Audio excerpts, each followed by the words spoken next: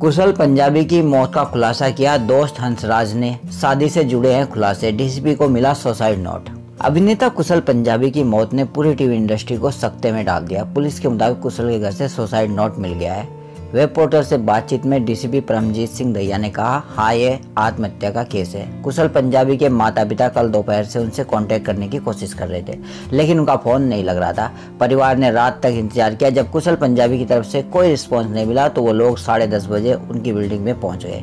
दरवाज़ा तोड़ दिया और अंदर गए। अंदर जाकर देखा तो कुशल का शव पंखे से लटका हुआ था। फ़िलहाल बॉडी का पोस्टमार्टम चल रहा है। सुसाइड का केस दर्ज कर लिया गया है। सुसाइड नोट में कुशल ने अपनी मौत के लिए किसी को भी जिम्मेदार नहीं बताया। कुशल ने नवंबर 2015 में अपनी यूरोपियन गर्लफ्रेंड से शादी की थी। दोनों का एक बेटा है। कुशल की पत्नी अपने बेटे के साथ संगई में रहती है। कुशल के करीबी दोस्त चेतन हंसराज ने मीडिया से बातचीत में कहा कि वो कुशल की मौत से सदमे में है। चेतन हंसराज ने कहा, कुशल का उनकी पत्नी से अलगाव हो रहा था और वो बीमारी से भी जूझ रहे थे। हमें यकीन नहीं हो रहा कि वो हमारे बीच नहीं है। मैंने उनसे दो दिन पहले ही बात की थी। कुशल ने मुझसे कहा था कि वो परेशान है। मैंने उन्हें समझाने की कोशिश की। ये चीज़ें ज़िंदगी में होती है।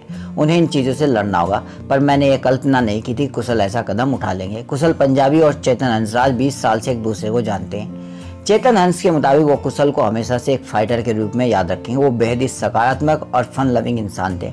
उनके चेहरे पर हमेशा हँसी और मुस्कान होती थी। वो अपने आसपास मौजूद लोगों को फिट रहने के लिए प्रेरित करते थे। वो मेरे भाई जैसे थे। हंसराज ने ये बताने की कोशिश की है कि किस वजह से उन्होंने सुसाइड किया होगा। लेकिन अभी पूरी तरह से सुसाइड के कारणों का पता नहीं चल पाया है।